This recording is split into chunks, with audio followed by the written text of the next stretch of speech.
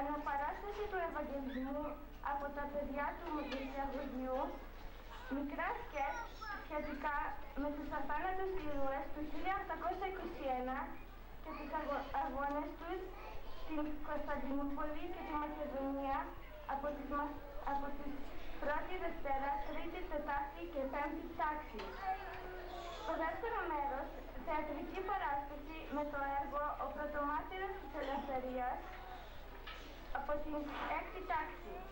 Η ορτή μας θα κλείσει με ελληνικούς παραδοσιακούς χορούς. Ελπίζουμε να ανταποκριθούμε με την ελάχιστη αυτή προσφορά μας στο γιορτασμό της Μεγάλης Εθνικής μας ημέρας. Ζητάμε να μην μας ξύπνετε αυστηρά και να μας χειροκροτήσετε. Σας ευχαριστούμε.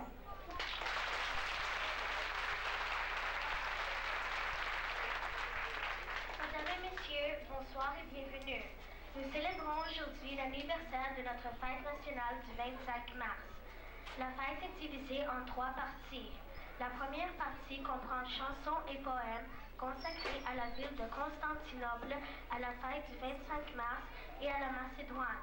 La deuxième partie est constituée d'une petite pièce de théâtre avec le titre Regas Fereos, le premier martyr de la liberté. Le spectacle sera présenté par les élèves de sixième année. La troisième partie comprend des danses grecques présentées par les élèves de sixième année.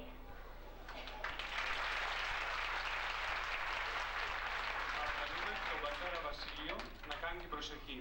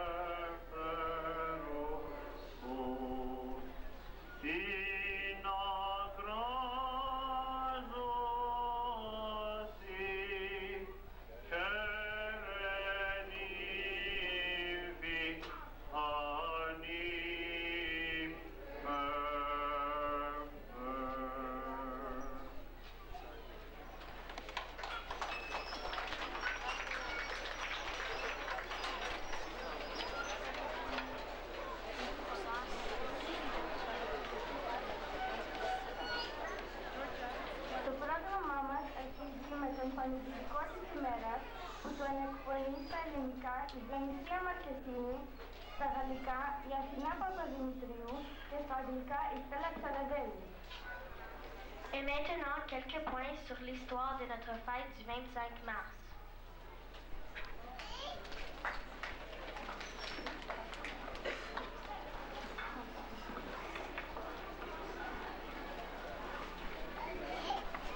Ευαισθημότατε πατέρα Βασίλειε, Κύριε Πρόεδρε της, της Εκπαιδευτικής Επιτροπής και Επιτροπής Γονέων, αγαπητοί γονείς, κυρίες και κύριοι, συγκεντρωθήκαμε σήμερα εδώ, όπως κάθε χρόνο, για ένα τραγικό μνημόσυνο στο Μεγάλο 21. Η, η μέρα της Είναι η μέρα της εθνικής μας παλιγενεσίας, πηγή του νεότερου εθνικού μας βίου. Τη μέρα αυτή που η Θεία Χρόνια διάλεξε για να εξαγγείλει στην κουρασμένη ανθρωπότητα το εκφρόσινο μήνυμα του ερχομού τους ανθρώπους και σωτήρος Ιησού Χριστού, την ίδια μέρα η ελευθερία απέστρεψε τριαμβευτικά στην πρώτη και αγαπημένη της πατρίδα, στην Ελλάδα μας. Ας κάνουμε ένα νοερό ταξίδι στο παρελθόν. Ας ανατρέψουμε στις σελίδες της ιστορίας μας 400 χρόνια πίσω την αποφράδα εκείνη Κρήτη 29 Μαΐου 1453 όταν ο τελευταίος αυτοκράτορας Κωνσταντίνος, ο Παλαιολόγος, έπεσε στην πύλη του Ρωμανού αγωνιζόμενος τον υπέρ παντών αγώνα. Ήταν οι τελευταίες ώρες της Βυζαντινής Αυτοκρατορίας. Το χιλιόχρονο τείχος έπεσε. Ο ήλιος της ημέρας εκείνης είδε το δικέφαλο αετό να φτερουγίζει μαζί με την ελευθερία από τα ελληνικά χώματα. Ύστερα τα τέσσερα μαύρα κατόχωρα της σκλαβιάς. Χρόνια βόγκου και θανάτου, χρόνια μαρτύριων και δακρύων, ταπεινώσεων και εξευτελισμών. Το έθνος έπεσε αλλά δεν νικήθηκε. Η ελληνική ψυχή έμεινε αδούλωτη και όταν ακέφαλο, αποφασισμένο, έπαιρνε το δρόμο προς τη δύση, άφησε μαζί με το τρίνο του, άφησε μαζί με το τρίνο του να λάμψει και η κρυφή ελπίδα της Αναστάσεως. Σώπασε, κύρα Δέσποινα, και μη πολύ δακρύζεις. Πάλι με χρόνια με καιρούς, πάλι δικά μας θα είναι. Αν ο κατακτητής υποδούλωσε τις πολιτείες και κάμπους, τα βουνά και οι θάλασσες ήταν ελεύθερα. Εκεί, ψηλά στα πάλι τα βουνά, πετούσε η αδούλωτη ψυχή της παλ... του, παλ... του, παλικε... του παλικαριού. Το καριοφύλι αντιδαλεί από τον Όλυμπο ως την Κρήτη και τη Μακεδονία. Μέσα στα μοναστήρια και στα ξοκλήσια, κάτω από το κρεμάμενο φως του καντιλιού, ο παπάς, ο δάσκαλος ανάβει τη φλόγα στις καρδιές. Εκεί η πολύπαθη φυλή ιστορεί τα περασμένα μεγαλεία της. Εκεί βλέπει τι έχασε, τι είχε, τι της πρέπει. Και όταν ήρθε το πλήρωμα του χρόνου, το έθνος ορθώνεται σαν, σαν ένας άνθρωπος. Στο μοναστήρι της Αγίας Λάβρας, η μυριόστομη κραυγή, λευτεριά ή θάνατος, Ήδη αναστραφεί το, στερεώμα, το στερεώμα της, Ευρω... της Ευρώπης. Κρονίζει στη, στη θέμελα το θρόνο του Σουλτάνου.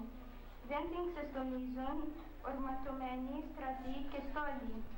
Θα βροντοφωνούν μια χούφτα ξυπόλυτων ραγιάδων. Είναι λίγοι, αλλά τι με αυτό, εμάς τους Έλληνες, γράφει στα απομνημονεύματα του ο Μακρυγιάννης η τύχη μας έχει πάντα λίγους. Κάποτε οι λίγοι αποφασίζουν να πεθάνουν. Και όσοι παίρνουν την απόφαση, λίγες φορές χάνουν και πολλές κερδίζουν. Στην εποπτεία του 21 παρουσιάζεται συμπυκνωμένη όλη η ιστορία της Ελλάδας. Στην Αλαμάνα ξαναζεί το έπος των Θερμοπυλών. Στο Ζάλογο και στην Αραπίτσα της Μακεδονίας οι Ελληνίδες βαδίζουν στο θάνατο χορεύοντας. Το Μεσολόγγι πετάει την Αθανασία σαν σύμβολο ομαδικού ηρωισμού και καταπλήσει τον κόσμο. Το 21 ήταν αποτέλεσμα της, μα, της μακροχρόνιας προσπαθίας όλων των υλικών, ηθικών και πνευματικών δυνάμεων του ελληνισμού. Ήταν η εξέλιξη ολόκληρης της ιστορίας μας, ολόκληρης της παράδοσης για την, για την πραγμάτωση της ιδέας, της ελευθερίας και της ανθρώπινης αξι, αξιοπρέπειας. Οι πρόμαχοι της ελευθερίας που σήμερα γιορτάζουμε μας παρέδωσαν ένα συμβόλαιο γραμμένο με το αίμα τους. Αυτά λέει πως η ελευθερία είναι πράξη ζωής, διαρκής αγώνας. Την ελευθερία την κερδίζει εκείνος που είναι έτοιμος την κάθε στιγμή να βάλει για αντιστάθισμα τη ζωή του. Αντικρίσουμε σήμερα το 21 από την πλευρά της ελεύθερης εθνικής ζωής. Το πνεύμα του 21 εξακολουθεί να εμπνέει το έθνος μας και, και είναι ένα φωτεινό παράδειγμα ηρωισμού και αυτοθυσίας για το μέλλον όπου και όταν χρειαστεί γιατί θέλει αρετή και τολμήνη ελευθερία.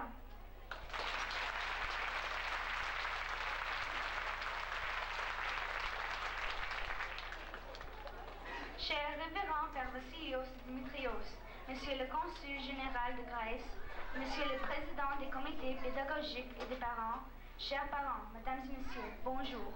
Et par le pouvoir des mots, je recommence ma vie. Je suis né pour te connaître, pour te nommer liberté.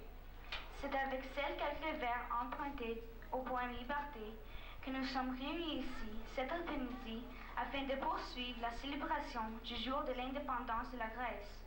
En effet, il y a 173 ans, nos ancêtres, au bout d'une très longue occupation de leur patrie, qui avait duré presque quatre siècles, se soulevaient comme un seul homme, comme une seule femme, contre l'Empire ottoman, qui, aurait en vain essayé de faire disparaître en lui sa religion et sa langue, les deux éléments, éléments fondamentaux de l'homme grec. Au cri de la liberté ou la mort, l'Ephéria et Thanatos, les Grecs commencèrent une bataille tellement inégale à presque tous les points de vue matériels qu'elle n'avait aux yeux de l'Europe aucune chance de réussir. Mais le feu sacré de la liberté brûlait toujours dans l'âme des Grecs. Depuis l'Antiquité, les Turcs n'avaient jamais réussi, malgré toute leur puissance, les tortures, l'emprisonnement la déportation, réussi à atténuer l'intensité de ce feu. Ce feu qui devait enfin dévorer l'occupant et lui arracher la victoire et la liberté. Aujourd'hui, nous rendons hommage à nos héros et nous nous souvenons de leur immense sacrifice avec reconnaissance et recueillement. Nous devons aussi en ce jour souvenir de nos frères chypriotes grecs qui depuis 1974 souffrent encore d'une occupation turque qui est aussi brutale et aussi inhumaine que celle de la Grèce avant la Révolution et qui d'autant plus inacceptable nos jours, où tous les pays du monde sont libres et indépendants, et nous prions le Canada à intercéder auprès des Nations Unies afin que cesse cette unique occupation qui dure déjà depuis 20 ans.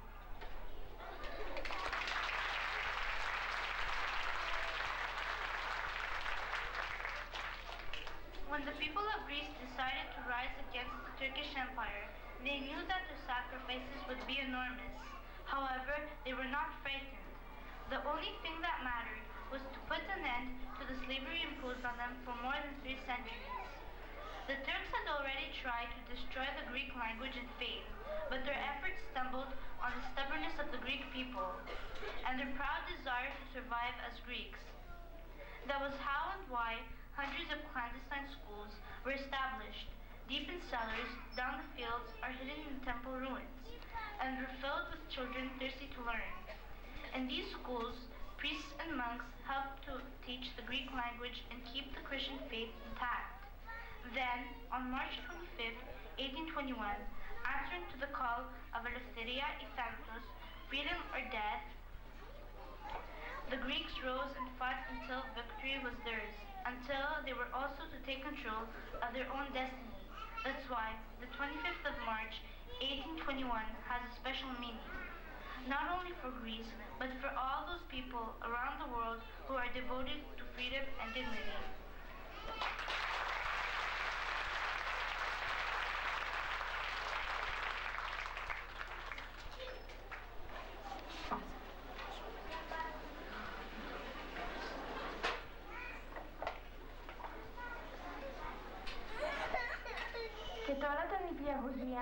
Με την αναπαράσταση του Ευαγγελισμού και μερικά ποιήματα. Παναγία, Θεοδόρα Μπαμπαγιάννη, Μπαρμπαγιάννη. Άγγελος, Σταύρος Μουδελάτος. Στο ποίημα Ευαγγελισμός, οι μαθητές. Αντελίνα Ζουμπενδίλ, Διονύσης Χρυσικός, Αδάμ Μπάρμπαρης, Γεω- Γεώργιος Αλεφαντίνος, Σταύρος Κούτσαρης, Τηλέμαχος Βάτος, στο ποίημα Διπλή Μορφάδα οι μαθητές. Αλεξάνδρα Κουρί, Παναγιώτης Σαρσάνας, Ανα- Ανάργυρος Πετράκος. Στο ποίημα Ο κρίνος του Ευαγγελισμού οι μαθητές. Ευαγγελία Αρβανίτη, Απόστολος Κυριλίδης, Ιωάννης Τσιμιτζής, Ιφηγένεια Παπαδημητρίου, Νικόλαος Βοναπάρτης, στο ποίημα 25 Μαρτίου, οι μαθητές Γιαννούλα Μεντάκη, Μαργαρίτα Καρά, Αθανάσιος Χρο- Χρονόπουλος, Σταυρούλα Σταυροπούλου, Πέτρος Καρέλης. Ευαγγελισμός Ελληνισμός. Ποίημα από τους μαθητές της πέμπτης τάξης. Τάσο Μποζινάκη, Μάρκο Μανιάκα, Μαρία Καλούδα, Et maintenant, la présentation de l'Annonciation et quelques poèmes par les élèves de maternelle.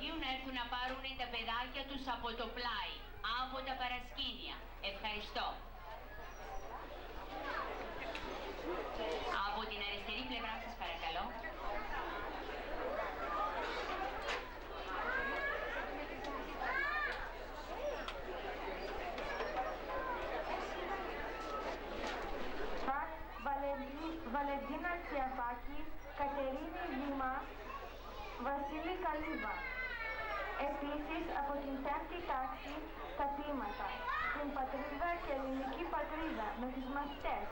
Γεώργιο Μπετσάρη, Κυριάκο Λέζο, Ευάγγελο Κούλη, Διονύσιο Κοπίτα, Ηλία Στεφανόπουλο, Μαρίο Προημάκη, Λάουρα Ορζέα, Δέσπερα Χαρδίλα, Μαρία Χερέτη, Αλέξανδρος Μάνος, Ζετάκη Ιωάννη, Μαυρομαρά Ιωάννη, Σουρία Θεοδόσιο, Πάτρα Ελένη, Λοΐζο Λοΐζο, Γεώργιο Βίλια, Διονύσιο Βρυνιώτη. Les élèves de la cinquième année vont déclamer trois poèmes pour notre patrie.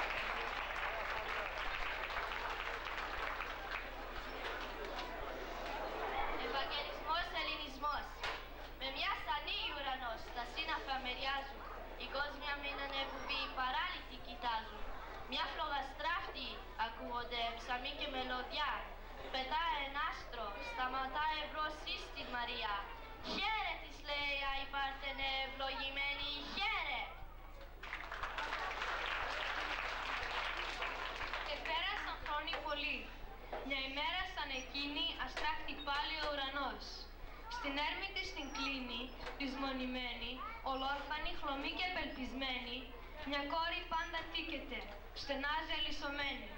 Τα σίδερα είναι ατάραγα, σκοτάδι ολογυρά της. Η καταφρόνια, η δυστυχιά, σέπουν τα κόκαλά της.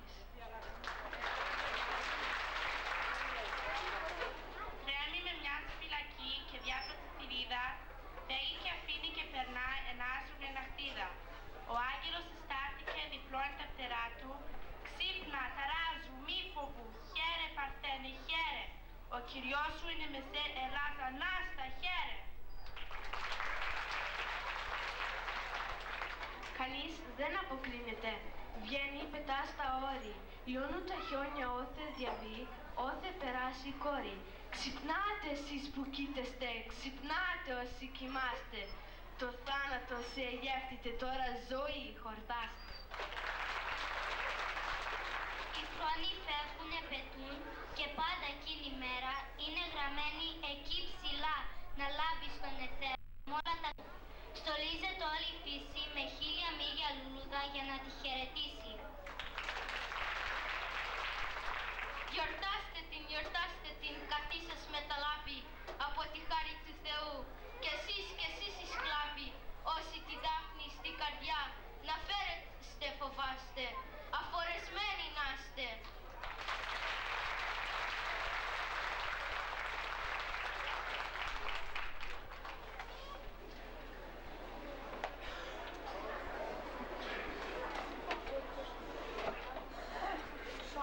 Στην πατρίδα, πατρίδα, όνειρο ακριβό, κρυφή χαρά του κόσμου, εσύ μονάχα στέκεσαι, αντοτινά εμπρός μου.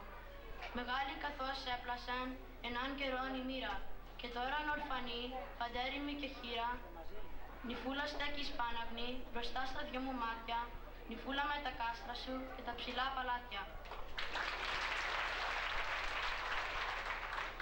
Τίποτε δε δουλειά και με το φάρος να μου πάρει ο μαρμαρένιος βασιλιάς που βλέπω καβαλάρι. Μια μέρα σιδερόφρακτες θύρες θέλει να γκρεμίσει και από τον πικρό τον ύπνο σου πάλι θα σε εξυπνήσει. Δεν πέθανε στα κάστρα σου και στα ψηλά παλάτια. Τα χείλη σου χαμογελούν, λαμποκοπούν τα μάτια και κάτω από τα